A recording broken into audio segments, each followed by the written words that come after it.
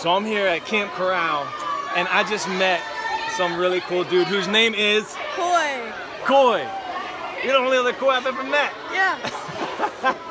you having fun today? Yeah. This is gonna be a good time. my, uh, my parents watch you sometimes on CNN. We have to send them this video.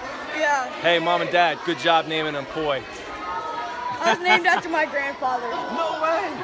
Uh-huh.